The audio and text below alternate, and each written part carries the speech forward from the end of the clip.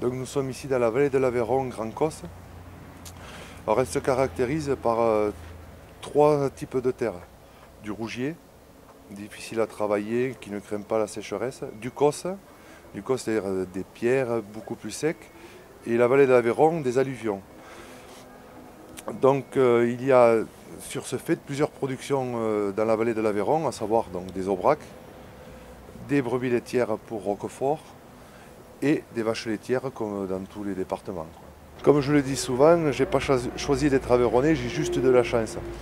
Pour dire simplement eh bien, qu'en Aveyron il fait bon vivre, euh, on a toutes les productions. Donc pour rien au monde, euh, je changerai de département. Donc en ce qui concerne la production euh, sur notre secteur, on va dire sur le, le territoire du Ségala, euh, donc la commune Moirazès, même la commune voisine de Colombiès sont des communes euh, très laitières. Donc c'est vrai que c'est une région très dynamique avec un potentiel laitier. Euh, même les sols, le type Ségala, on peut y faire du maïs.